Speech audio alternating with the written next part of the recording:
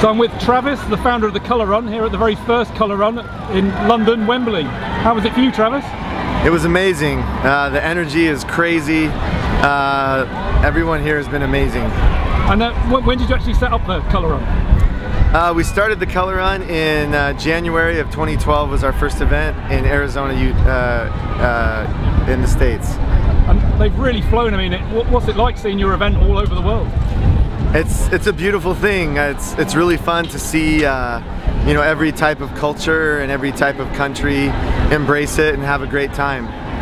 So uh, they, the runners did a 5k through all the different colours. Yes. I mean, it's the same um, standard throughout the, the whole world. Yes, we have uh, blue, yellow, pink, and orange color zones uh, where volunteers are hitting with the runners with color. And then at the end of the race, we have a basically a big party, a festival, where every color comes out and they dance to music and have a great time. The, uh, we were just noticing everyone dancing there. They seem to be putting more work into that than they did to the run.